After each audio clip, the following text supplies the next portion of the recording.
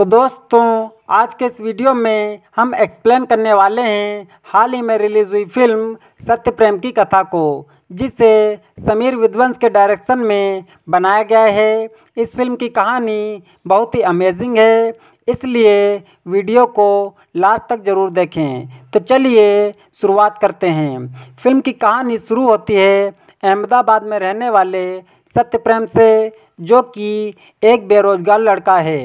LLB final year में fail होने के बाद सत्य प्रेम अब अपने परिवार के साथ रहता है। उसके परिवार में उसके मम्मी पापा और उसकी एक बहन है। फ़िल्म में कार्तिक आर्यन का नाम तो वैसे सत्य प्रेम होता है, लेकिन लोग उसे प्यार से सत्तू कहते हैं। सत्तू की माँ और बहन गरबा सिखाकर घर का खर्चा चलाती हैं, सत्तू के पिता और सत्तू घर का काम काज करते हैं। उसके मोहल्ले के सभी लड़कों की शादी हो चुकी है। सत्तू मोहल्ले में मात्र एक इकलौता कुंवारा लड़का होता है। सत्य प्रेम की भी अब इच्छा होती है कि उसकी शादी हो जाए। अब ऐसा नहीं है कि उसे कोई लड़की अभी तक पसंद नहीं आई। उसे एक लड़की पसंद आई थी जिसका नाम कथा था। कथा को सत्य प्रेम ने एक साल पहले जलसे में देखा था और कथा को पहली बार देखते ही सत्य प्रेम को उससे प्यार हो गया था। यहाँ तक सत्य प्रेम कथा से बात करने की कोशिश भी करता है, लेकिन बात शुरू होने से पहले ही कथा सत्य प्रेम को बताती है कि उसका एक बॉयफ्रेंड है, जिसका नाम तपन है। यह सुनकर सत्तू निराश हो जाता है और कथा से कहता है कि तुम्हारा तो तुम्हारे बॉयफ्रेंड के साथ हैशटैग भी नहीं बनता हैशटैग बनना चाहिए। जैसे कि हम दोनों का नाम सत्य प्रेम की कथा। वो दोनों बात कर ही रहे होते हैं कि तभी कथा का बॉयफ्रेंड तपन वहाँ जाता है और वह कथा को अपने साथ लेकर चला जाता है। इस वजह से सत्तू बहुत दुखी होता है। और यही एक मुलाकात थी जब सत्तू कथा से मिला था। अब कहानी फिर से प्रेजेंट में आ जाती है, जहाँ पर सत्तू को ना तो कोई लड़की मिल रही थी और ना तो उसके घर वाले कोई कोशिश कर रहे थे कि सत्य प्रेम के लिए हम कोई लड़की ढूंढें।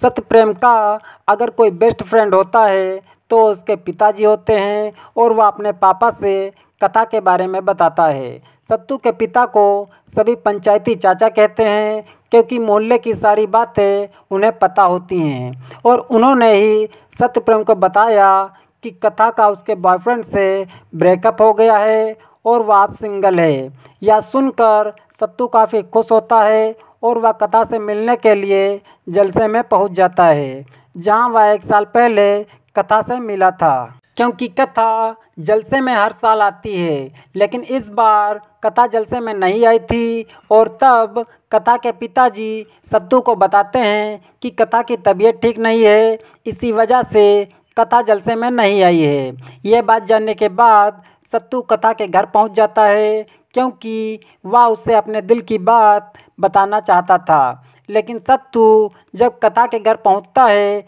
तो वह देखता है कि कथा रो रही है और उसने अपने हाथ की नस काट ली है। सत्य प्रेम कथा को तुरंत अस्पताल लेकर जाता है और उसे एडमिट करवाता है। थोड़ी देर बाद कथा के पिता अस्पताल में पहुँचते हैं और कथा की जान बचाने के लिए सत्य प्रेम से थैंक्स कहते हैं। कुछ दिन बीतने के बाद सत्तू अब कथा के घर जाने लगता है। कथा के माता पिता को सत्तू का नेचर काफ़ी पसंद आता है और सत्तू अब काफ़ी खुश रहने लगा था। कथा के पेरेंट्स अब कथा की शादी करना चाहते हैं, लेकिन वह जिसके भी घर जाते हैं, वो कथा से शादी करने के लिए मना कर देता है, क्योंकि वह सभी जानते थे कि कथा ने सुसाइड करने की कोशिश की थी। तब कथा के पापा के मन में यह ख्याल आता है कि कथा की शादी सत्य प्रेम से कर दी जाए। सत्य प्रेम ही कथा के लिए बेस्ट लड़का है। हालाँकि कथा इस बात से राज़ी नहीं थी, लेकिन कथा के पिता उसे इमोशनल ब्लैकमेल करके उसे राज़ी कर लेते हैं। और वह अगले ही दिन सत्य प्रेम के घर कथा की शादी की बात करने के लिए चले जाते हैं। सत्य प्रेम और उसकी फैमिली शादी के लिए तैयार हो जाते हैं और कुछ ही दिनों में दोनों की सगाई हो जाती है और जल्द ही दोनों की शादी की तैयारियाँ शुरू हो जाती हैं। सत्तू की शादी कथा के साथ हो रही थी और वह बहुत खुश था, क्योंकि वह कथा को पहले से ही बहुत पसंद करता था, लेकिन कथा इस शादी से बिल्कुल भी खुश नहीं थी, क्योंकि यह शादी उसकी मर्ज़ी से नहीं हो रही थी। फिर भी सत्य प्रेम और कथा की शादी हो जाती है। अब अगले सीन में हम देखते हैं कि सत्य प्रेम की फ़र्स्ट नाइट थी और पर्सनल रूम ना होने की वजह से सत्तू को अपनी सुहाग रात का अरेंजमेंट अपनी माँ के स्टूडियो में करना पड़ता है। सत्तू कथा को बताता है कि आज तक उसने किसी लड़के को छुआ तक नहीं है और ना ही उसकी कोई गर्लफ्रेंड है। कथा सत्तू से कहती है कि वह बहुत थक गई है और वह अब सोना चाहती है और कथा सो जाती है। दोनों साथ में सो रहे होते हैं कि तभी सत्तू रात में खर्राटे लेने लगता है, जो कि उसकी आदत होती है। लेकिन सत्तू के खर्राटों की वजह से कथा को नींद नहीं आती है, इसलिए सत्तू को यहाँ से नीचे जाना पड़ता है अपने पिता के पास। और इस तरह से सत्तू के ना तो कराटे बंद हो रहे थे और ना ही उसे कथा के पास सोने का मौका मिल रहा था। लेकिन सत्तू कथा के पास सोना चाहता था और वह उसके पास चला जाता है। तब कथा सत्तू को ऐसा सच बताती है कि सत्तू उसे सुनकर काफ़ी दुखी हो जाता है। कथा सत्तू को बताती है कि वह एसेक्सुअल है इसी वजह से उसके बॉयफ्रेंड ने उससे ब्रेकअप कर लिया था। यह सुनकर सत्य प्रेम को काफ़ी दुख होता है और वह अगले ही दिन कथा के पिता से मिलने चला जाता है और उनसे सारी बातें बता देता है। लेकिन कथा के पिता सत्यप्रेम से कहते हैं कि कथा शायद तुमसे झूठ बोल रही हो और सत्यप्रेम को समझाते हुए कहते हैं कि तुम तो जानते ही हो कि कथा की मानसिक स्थिति ठीक नहीं है। उसने आत्महत्या तक करने की कोशिश की थी। तुम्हें उसका ध्यान रखना चाहिए। धीरे धीरे सब नॉर्मल हो जाएगा। और तब से ही सत्तू कथा का ध्यान रखने लगता है और उसके साथ काफ़ी समय बिताने लगता है।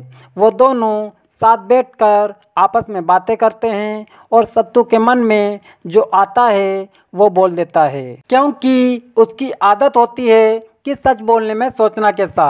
और कथा भी अब सत्तू को कहीं ना कहीं पसंद करने लगी थी। कथा अब चाहती थी कि वह दोनों एक साथ सोएँ और वह सत्तू को यह भी बता चुकी थी कि वह ए सेक्सुअल नहीं है और उनके बीच अब नज़दीकियाँ बढ़ने लगी थी। लेकिन अचानक से कथा को घबराहट होने लगती है और वह कहती है कि प्लीज़ ऐसा मत करो। जैसे कि उसका कोई रेप कर रहा हो और सत्तू यह सब देख रहा होता है और वह समझ जाता है कि कथा के साथ पास्ट में बहुत बुरा हुआ है, जिसे वह भूल नहीं पा रही है और उसके बारे में कुछ बताना नहीं चाहती है। सत्तू अगले ही दिन कथा के पिता के घर पर पहुँच जाता है और उनसे कथा के बारे में पूछता है कि कथा ने सुसाइड करने की कोशिश क्यों की थी।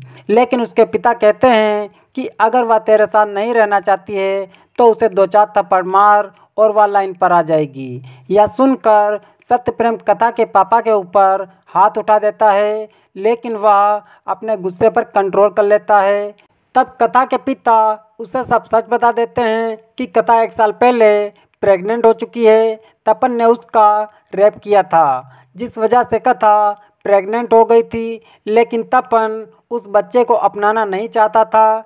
इसीलिए कथा ने अबॉर्शन करवा लिया था। और इसी वजह से उसने सुसाइड करने की कोशिश की थी। यह सुनकर सत्तू को गुस्सा आ जाता है और वह सीधा तपन के ऑफ़िस पहुँच जाता है और तपन को बहुत बुरी तरीके से पीटता है और इसी वजह से सत्तू को जेल हो जाती है, लेकिन वह शाम को ही छूट जाता है। तब कथा रोते हुए सत्तू को सारी सच्चाई बता देती है कि वह तपन के साथ डेट बढ़ गई थी और वहाँ उसका रेप हुआ था। और इसी वजह से कथा प्रेग्नेंट हो गई थी, लेकिन कथा इस बारे में घर वालों को कुछ भी नहीं बताना चाहती थी और वह चुपचाप अपना अबॉर्शन करवा लेती है।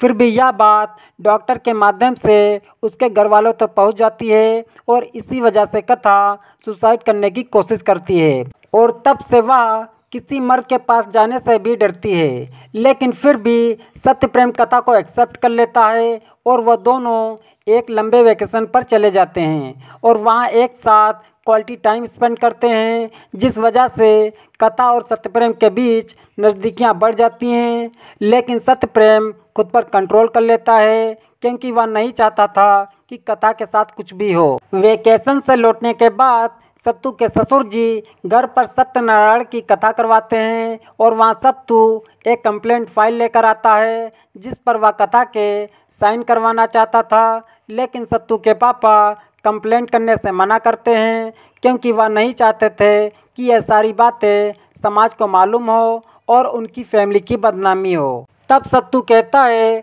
कि जब किसी लड़की का रेप होता है तो उनमें से निन्यानवे परसेंट लड़कियाँ कंप्लेंट ही नहीं करवाती हैं, क्योंकि कंप्लेंट करने से यह सभी बातें समाज को पता चल जाएँगी और उनकी बदनामी होगी। और इसी वजह से उन्हें न्याय नहीं मिल पाता है और उनका पूरा जीवन रिग्रेट से भरा हुआ रहता है। तब कथा उस कंप्लेंट फ़ाइल पर साइन कर देती है और वह सत्तू से कहती है कि उसके अंदर सुसाइड करने की हिम्मत तो थी, लेकिन कंप्लेंट करने की हिम्मत नहीं थी।